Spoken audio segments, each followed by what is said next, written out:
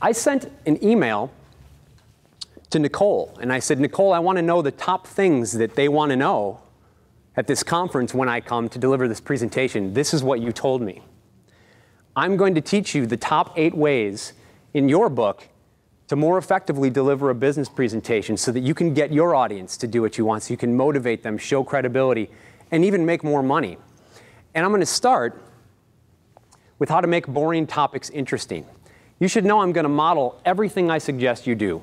It used to drive me crazy when I'd go to these conferences and people would tell me to do stuff, but they either wouldn't tell me exactly how to do it or they wouldn't show me how to do it themselves. Everything I'm going to suggest you do, including what I just did, which is called the circle of knowledge, by the way, and I'll give you the steps to it later, I'm going to model for you. And I'm going to start with these fish right here. This is called a hook. And as you know, in fishing, if you don't make the hook appealing, they don't want it. You got to do the same thing with your presentations. And the number one way that adults find hooks appealing is if you tell them why you're going to give it to them. Most people start with what? Exactly, they start with the what you're going to get. It doesn't work. Do you remember the first thing I said to you? Hi, I'm Jason Teteak. I gave you my credentials, but then I said, I'm going to show you how to gain a competitive advantage by delivering an irresistible presentation that gets your audience to do what you want. You didn't know how I was going to do it yet. You didn't know what it was going to look like yet, but you knew why you wanted it.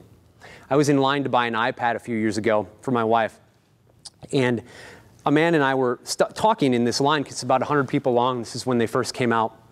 And I looked at him and I said, I see you're in line to buy an iPad. And he says, Yep. I said, What does it do? He goes, I don't know. I've never seen one. You've never seen one? He goes, Nope. I said, Well, then how do you know you want it? Because it's going to change my life, he says to me. This is how he says it. It's going to change my life. really? Why is it going to change your life? He goes, Because Steve Jobs, I watched him present on this. And he explained to me that it's going to save me time. I'm going to get things done finally. And I'm going to be able to have some fun too, because I get really bored during the day. He's telling me all these things I'm like, wow, everything he's telling me is which one? Why he'd want it. Here's the practical.